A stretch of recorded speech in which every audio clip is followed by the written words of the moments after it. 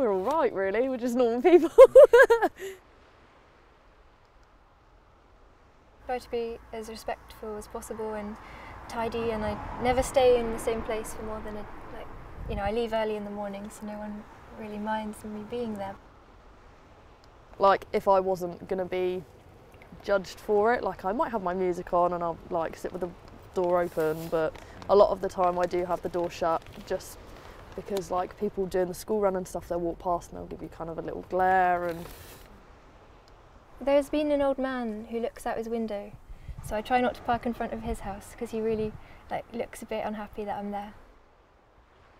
Well, I was thinking about renting somewhere, but then I kind of did a bit of calculations, and unless I'm literally working five, six, seven days a week, like all day, I can't afford to rent anywhere.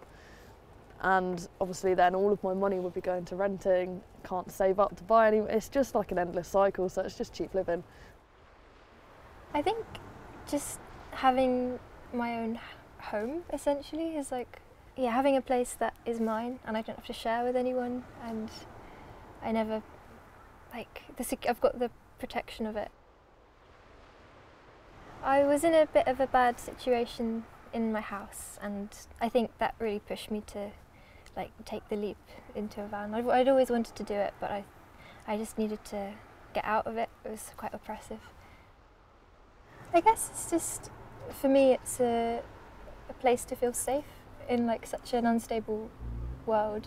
I've ne- I'd always struggled in in all the rooms I've been renting and lived in houses I've always felt it's so temporary and I really miss that sense of belonging and connection to my home.